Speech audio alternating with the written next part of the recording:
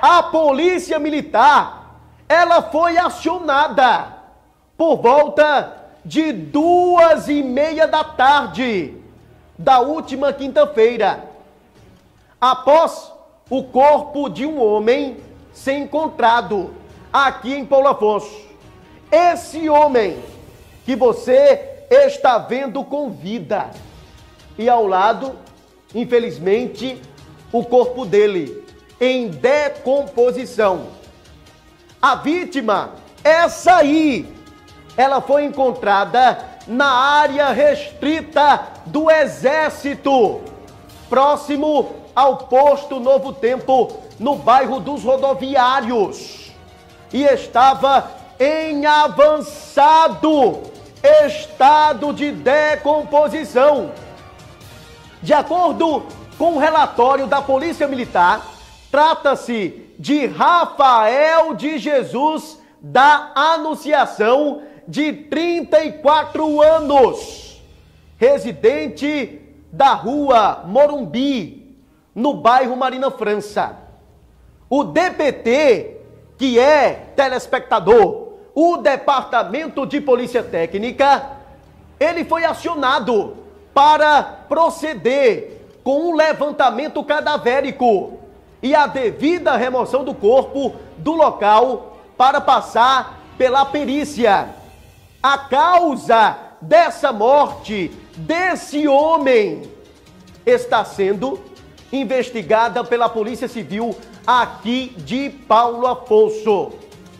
Eu fiquei sabendo de muitas coisas, não posso falar, porque eu tenho que ter o aval do Departamento de Polícia Técnica, eu tenho que ter o aval da Delegacia de Polícia Civil, e essa é a triste e lamentável informação, principalmente para os amigos, principalmente para a família desse homem que foi encontrado sem vida aqui em Paulo Afonso. E novas informações a qualquer momento no decorrer do jornalismo Verdade. Vou falar novamente do vereador Queco do Benoni. Você conhece, né? Esse vereador que eu falo aqui todos os dias. Eu estou falando nesse vereador que gosta de cuidar da população, principalmente aquelas mais carentes. E o vereador, ele protocolou uma indicação na Câmara de Vereadores aqui de Paulo Afonso. E ele solicitou ao prefeito Luiz de Deus que não feche a pediatria do bairro Tancredo Neves.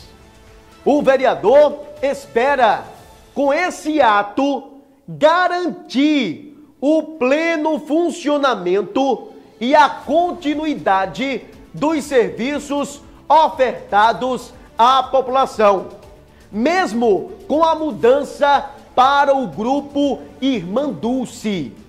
É isso que o vereador espera.